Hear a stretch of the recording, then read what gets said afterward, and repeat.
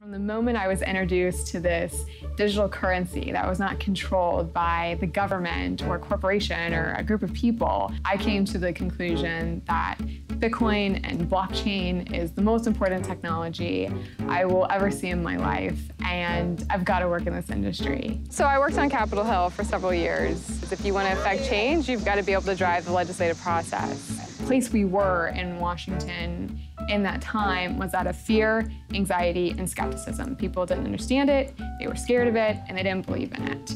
And so, to me, as someone who really wanted to dedicate my career to this ecosystem, decided to start an organization, the Chamber of Digital Commerce, to be a nonprofit, to be headquartered in Washington, to work with the policy community to teach them and give them resources about this technology that's of high integrity and high quality.